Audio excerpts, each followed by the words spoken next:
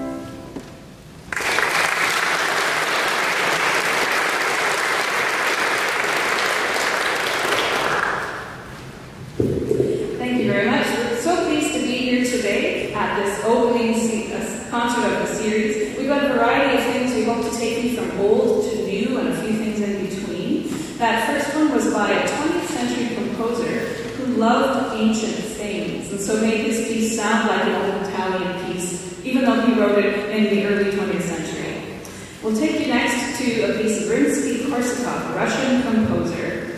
He wrote the opera ballet Mlada. It has kind of a complex storyline. There's love, there's murder, there's the underworld, and there's magic and spirits and stuff. But this piece doesn't really show all of that. This may be the only piece you've ever heard, even if you've heard it from that opera. It's not performed very often, but we are so pleased that this arrangement has an organ part. We thought, hmm, we're in a church. Hmm, happen to know this organist, and you know, maybe Doug Haas would play with us, and he said yes, so we're so pleased to bring you a procession of the nobles.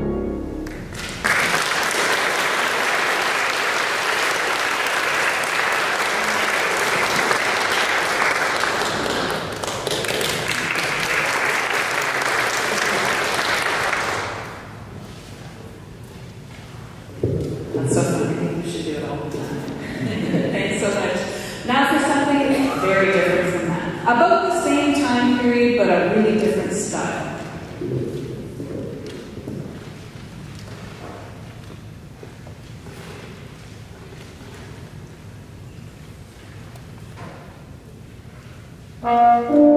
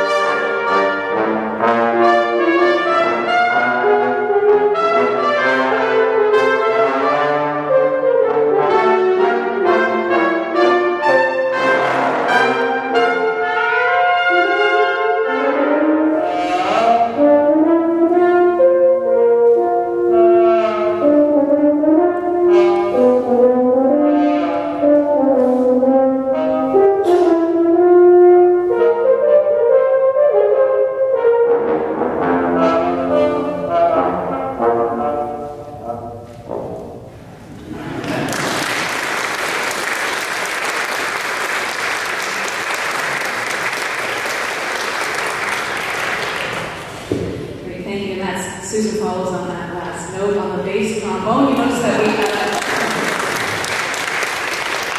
the typical arrangement might include a tuba in a quintet like ours, but we have a bass trombone and then tenor trombone as our two bass instruments.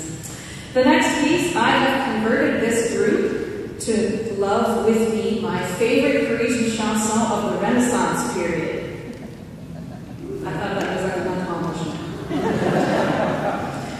The next piece is by Claude Lejeune, who's a Renaissance composer. He wrote a five-part piece about the coming of spring. It's a vocal piece from the 1500s, and it's written here for brass quintet, and I thought, oh, I love this piece. It's my favorite Parisian chanson. Maybe the quintet will play it, and they gradually loved it, I think. They're converted completely. After that, we're going to play a piece, uh, two pieces of, uh, two movements of a large piece by Malcolm Forsyth, Canadian composer, born in South Africa, but then uh, moved to Canada and played trombone, received the Order of Canada. So that's the piece after. It's called uh, Short and Pithy and Fast and Fluent. There are two movements from his larger work, Aphorisms for Brass.